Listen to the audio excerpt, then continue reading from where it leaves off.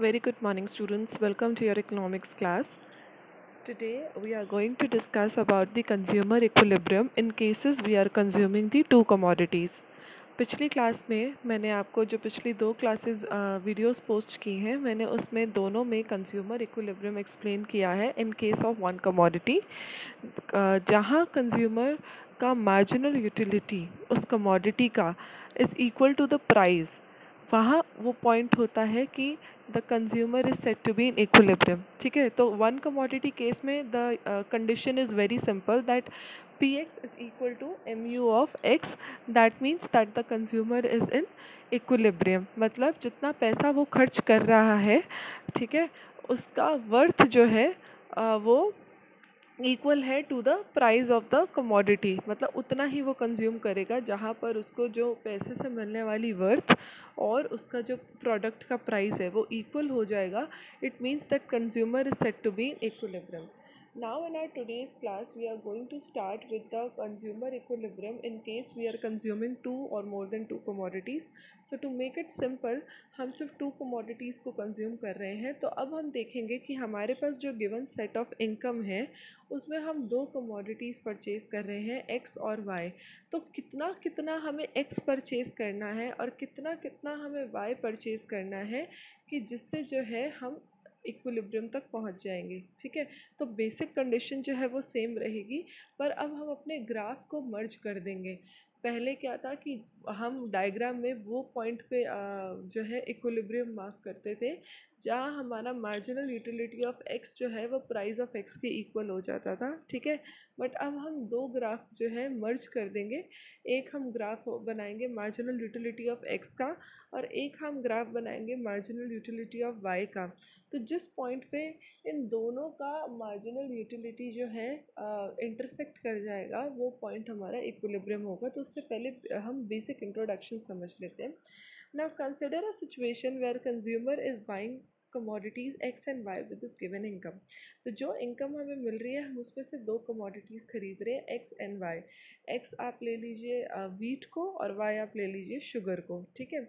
Now how will we strike his equilibrium? In case of any one commodity say commodity x the consumer strikes his equilibrium when mu of x upon px is mu of m. अगर आपको बहुत अच्छे से याद हो तो हमने जो अपनी पिछली जो क्लास थी, उसमें हमने इसी कंडीशन को जो है फुलफ़िल किया था कि जो हमारा मार्जिनल यूटिलिटी है from a particular product X उसको जब हम उसके प्राइस से डिवाइड कर देते हैं तो हमारे पास मार्जिनल यूटिलिटी आ जाता है इन टर्म्स ऑफ़ मनी ठीक है? तो जिससे हमें उसकी वर्थ पता चल जाती है। तो जितना हम उस पर डाल रहे हैं, जितना हम पैसा उसमें उसकी कंजम्पशन में यूज़ कर रहे हैं, उसको उसके प्राइस से डिवाइड कर देंगे तो हमारे पास उसका वर्थ आ जाएगा equals to marginal utility of money तो at that situation in that point of time we can say that we have reach the equilibrium ठीक है? उसी तरीके से अगर हम वाई कमोडिटी की बात कर रहे हैं, दूसरी कमोडिटी की बात कर रहे हैं तो उसमें भी यही कंडीशन अप्लाई होगी that marginal utility of y upon price of y should be equal to marginal utility of m. ठीक है? अब इन दोनों कंडीशंस को अगर हम रिलेट करें marginal utility of money marginal utility of money के इक्वल जो है, वो है marginal utility of X upon P X and marginal utility of Y upon P Y अगर मार्जिनल यूटिलिटी ऑफ़ एम जो है, दोनों कंडीशंस में सेम हो जाता है तो ideally marginal utility of X upon P X is equal to marginal utility of Y upon P Y क्योंकि ये दोनों जो है वो मार्जिनल यूटिलिटी ऑफ़ एम के बराबर है, ठीक है? Now let's see with it example अब marginal utility per rupees spent on good X जो है वो 50 गिवन है,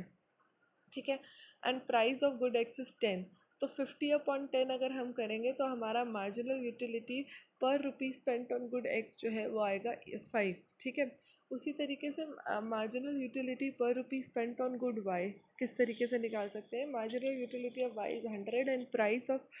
that product is twenty तो अगर हम इसको डिवाइड कर देंगे तो marginal utility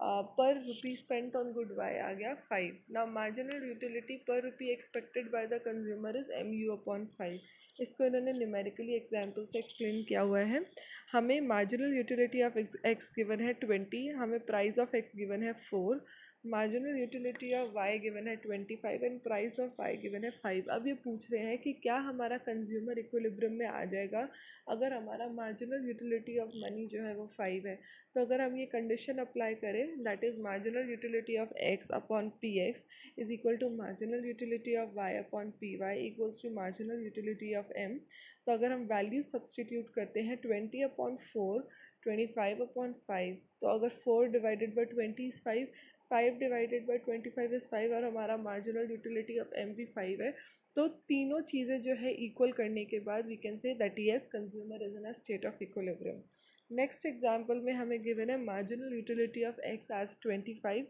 price of X as five marginal utility of Y is thirty and price of Y is five now they are asking that क्या हमारा कंज्यूमर इक्विलिब्रियम स्टेट में है? तो अगर हम इस कंडीशन को अप्लाई करें M U of X upon P X is M U of Y upon P Y तो twenty five upon five gives you five and thirty upon five gives you six तो यहाँ पर हमारा marginal utility of Y upon P Y जो है वो greater है then marginal utility of X upon P X तो हम इक्वल नहीं होने के वजह से we will we can not say that consumer is in a state of equilibrium so consumer is not in a state of equilibrium okay now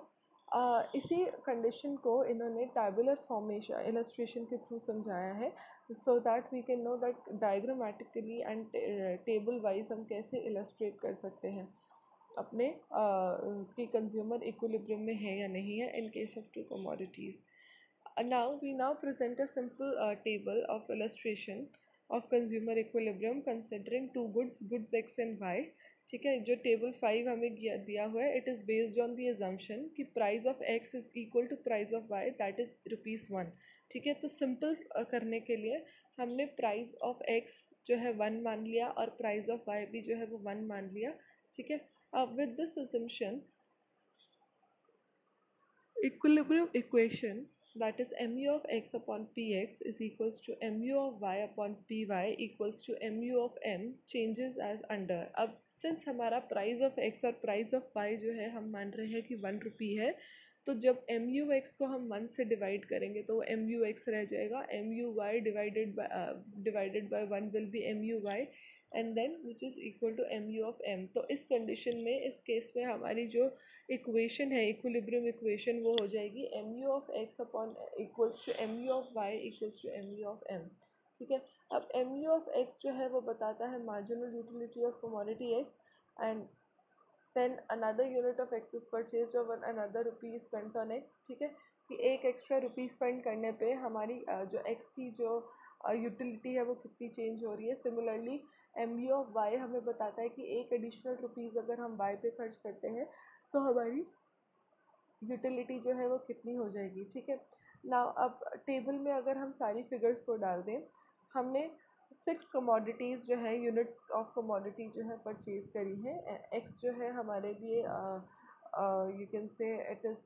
sugar and Y is wheat तो यहाँ पे बता रहे कि अगर हम पर यूनिट ऑफ़ कमोडिटी जो है कंज्यूम कर रहे हैं तो उसके यूटिल्स कैसे कैसे चेंज हो रहे हैं। तो जब हमने फ़र्स्ट यूनिट ख़रीदा एक्स का तो it is seventy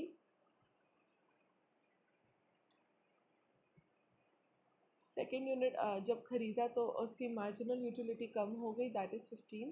third unit पे इट इज़ ट्वेल्व फोर पे टेन फाइव पे सेवन सिक्स पे five like wise marginal utility of Y जो है फ़र्स्ट यूनिट जब हमने ख़रीदा तो it was twenty six twenty three then nineteen sixteen thirteen ten six unit पे उसकी यूटिलिटी कम रहते रहते टेन हो गई, ठीक है? अब इक्विलिब्रियम कंडीशन क्या कहता है? With the consumption of X and Y are M U X upon P X should be equal to M U Y upon P Y तो price of X equals to price of Y हम देखेंगे। तो price of X जो है वो one है price of Y भी जो है वो वन है। तो इस केस में हमारा जो कंडीशन है वो हो गया M U of X equals to equals to M U of Y okay तो अब बेसिकली हमको देखना है कि आ, कौन से पॉइंट पे हमारा मार्जिनल यूटिलिटी ऑफ़ एक्स जो है वो मार्जिनल यूटिलिटी ऑफ़ वाई के बराबर है okay now in this given situation अगर आप देखो टेब टैबुलर फॉर्म में, हमारा एम यू ऑफ़ एक्स जो है, वो है टेन और एम यू ऑफ़ वाई जो है, वो भी है टेन ठीक है? वो आ रहा है एम यू ऑफ़ एक्स जो है, वो फोर्थ कमोडिटी पे है और एम यू ऑफ़ वाई जो है, वो सिक्स कमोडिटी पे है. ठीक है? तो हमें बेसिकली ये चेक करना है कि कौन से यूनिट्स पे एम यू ऑफ़ एक्स जो है एम यू वाई के बराबर है. तो एम यू एक्स जो है टेन जो है वो फोर यूनिट्स ऑफ़ कमोडिटी पे है और एम यू वाई जो है वो टेन जो है वो सिक्स यूनिट्स ऑफ़ कमोडिटी पे है। तो सिंस इक्विलिब्रियम तभी माना जाएगा जब एम यू ऑफ़ एक्स जो है एम यू वाई के बराबर होगा तो उस केस में हम ये कंक्लूड कर सकते हैं कि अगर हम एक्स की फोर यूनिट्स खरीदें और वाई की सिक्स यूनिट्स खरीदें तो कंज्यूमर जो है वो इक्विलिब्रियम में रहेगा। यहाँ पे अब आप देखिए, इन्होंने ग्राफ किस तरीके से कंस्ट्रक्ट किया है। Now this is units of commodity ठीक है? कंजम्पशन ऑफ़ कमोडिटी जो है वो एक्स एक्सेस पे गिवन है। आ, हम यहाँ से अगर देखें लेफ़्ट हैंड साइड से हमारी एक्स की कंजम्पशन चल रही है और वाई हैंड साइड से हमारे वाई की कंजम्पशन चल रही है राइट हैंड साइड से ठीक है? तो अब यहाँ पे इन्होंने ग्राफ कोट करा। When they are consuming six units of commodity तो उनका मार्जिनल यूटिलिटी ऑफ़ एक्स कितना है? और इधर से उन्होंने कोट किया जब सिक्स कमोडिटीज़ वो कंज्यूम कर रहे हैं तो मार्जिनल यूटिलिटी ऑफ़ वाई कितना है? Okay so now at the point where the consumption is equal so as you can see कि जब वो four units of X consume कर रहे हैं marginal utility of X is equal to marginal utility of Y equals to ten और ten कहाँ पे intersect हो रहा है जब four units of X commodities और six units of Y commodity consume की जा रही है उस पॉइंट पे they are they have shown that the consumer is in equilibrium ठीक है? सो हमें जो बेसिकली है uh, क्या किस चीज़ पे फोकस करना है? That are marginal utility of X is equal to marginal marginal utility of x is equal to marginal utility of y. ठीक है it is as simple is that क्योंकि हमने अज्यूम कर लिया दैट हमारा price of X is equals to price of Y तो हम focus कर रहे हैं upon marginal utility of X equals to marginal utility of Y अब आप सोचोगे कि एग्ज़ाम में हम इसको किस तरीके से आ सकता है ये क्वेश्चन एग्ज़ाम में मैं आपको डायरेक्टली पूछ सकती हूँ that explain consumer equilibrium with reference to two commodity case तो आप जो है इसी एग्ज़ाम्पल को जो है कोट करके, इसी डायग्राम को यूज़ करके जो है एक्सप्लेन कर सकते हो। कि आपने price of X equals to price of Y मान लिया that is equals to one तो आप फोकस करोगे कि किस पॉइंट पे मार्जिनल यूटिलिटी ऑफ़ एक्स जो है marginal utility utility of Y के बराबर है. तो जिस पॉइंट पे एम यू एक्स जो है एम यू वाई के बराबर हो जाएगा, उतनी कमोडिटीज़ जो है कंज्यूम करने पे कंज्यूमर जो है इक्विलिब्रियम में आ जाएगा. तो अगर हम इसे ओवरऑल कंक्लूड करें तो जब consumer four K Gs of wheat and six K Gs of sugar ले लेता है शुगर कंज्यूम कर लेता है, उस पॉइंट पे वो इक्विलिब्रियम में पहुँच जाता है। He is at the point of high highly higher satisfaction highest satisfaction ठीक है? जिसे हम law of equi marginal utility भी कहा जाता है, ठीक है? तो यहाँ पे ये पढ़ लेते हैं। Summing up the two commodities case we can state that the consumer states is equilibrium when he is in the state of equi marginal utility this occurs when the last rupee spent by him leaves equal marginal utility whether he spends it on good X और good Y this is known as law of equi marginal utility equi marginal utility मतलब जब वो दो commodities consume कर रहा है तो उन दोनों कमोडिटीज़ की जो मार्जिनल यूटिलिटी है, वो इक्वल होनी चाहिए। जैसे कि इस केस में थी marginal utility of X is equal to marginal utility of Y which was ten units which was ten ठीक है? और वो टेन पॉइंट जो है, कहाँ पर आ रहा था? जब वो फोर यूनिट्स ऑफ़ एक्स और six units of Y consume कर रहे थे okay so this is the law of marginal utility in case of two commodities अब ये कुछ कंडीशंस हैं जो इंपॉर्टेंट है आपको समझने के लिए। जब भी हम कंज्यूमर इक्विलिब्रियम एनालिसिस करते हैं in case of one commodities and two commodities ठीक है? ये हम पढ़ चुके हैं। आप इसको एक बार रीड कर लीजिएगा। It is very simple okay now the last topic is the limitation of utility analysis कि कंज्यूमर इक्विलिब्रियम हम यूटिलिटी एनालिसिस से फाइंड आउट जब करते हैं तो उसके पीछे जो लिमिटेशन है वो क्या है? क्या ड्रॉबैक है। The basic limitation of utility analysis is relates to the basic assumption कि बेसिक अजम्पशन क्या है इसकी कि यूटिलिटी जो है सिर्फ़ कार्डिनल नंबर्स पे एक्सप्रेस की जा सकती है। मतलब it it can be express only in numbers like one two and three क्या ये रियली पॉसिबल है? एज अ कंज्यूमर क्या हम अपने सेटिस्फैक्शन लेवल को नंबर्स में कन्वर्ट कर सकते हैं? पर हैप्स नेवर क्योंकि सेटिस्फैक्शन जो है वो ज़्यादा से ज़्यादा as a layman consumer we can derive it in the form of high और low so it cannot be it can be compared when two goods are simultaneously consumed it is hard to measure it in figures ठीक है तो जब भी हम दो commodities consume करते हैं एक साथ specially तो हम ये कह सकते हैं कि इससे साटिस इससे ज़्यादा सेटिस्फैक्शन मिली है इससे कम सेटिस्फैक्शन मिली है बट नंबर्स में हम कंपेयर नहीं कर सकते कि टी पिया तो हमें टेन यूटल्स की सेटिस्फेक्शन मिली कॉफ़ी पिया तो हमें ट्वेल्व यूटल्स की सेटिस्फेक्शन मिली। तो नंबर्स में एक लेमन कंज्यूमर जो है वो कंपेयर नहीं कर पाता। तो सबसे बड़ा ड्रॉबैक जो यूटिलिटी एनालिसिस का यही है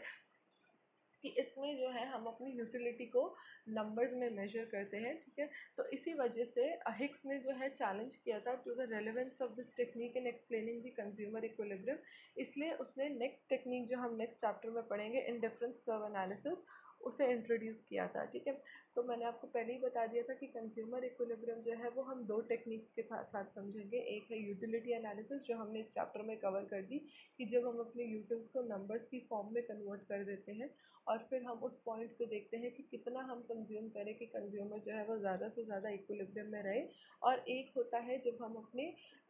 इक्विलिब्रियम जो है नंबर्स के फॉर्म में नहीं हाई और लो रैंक के फॉर्म में जो है अपने यूटिल्स को, अपनी यूटिलिटी को जो है एक्सप्रेस करते हैं। तो this is the indifference curve analysis जो हम अब नेक्स्ट चैप्टर में स्टार्ट करने जा रहे हैं। So this is the end of the chapter ठीक है आई होप आपको टू कमोडिटीज़ केस में कंज्यूमर किस तरीके से इक्विलिब्रियम पे पहुंचेगा वो कंडीशन अच्छे से समझ में आ गई है। आपको इसी डायग्राम को और इसी टेबल को अच्छे से समझना है पढ़ना है और अगर एग्ज़ाम में भी पूछे तो आप यही टेबल और डायग्राम जो है एग्जैक्टली exactly, शो uh, करके एक्सप्लेन कर सकते हो ठीक है? So this is about this chapter if you have any doubt please let me know thank you very much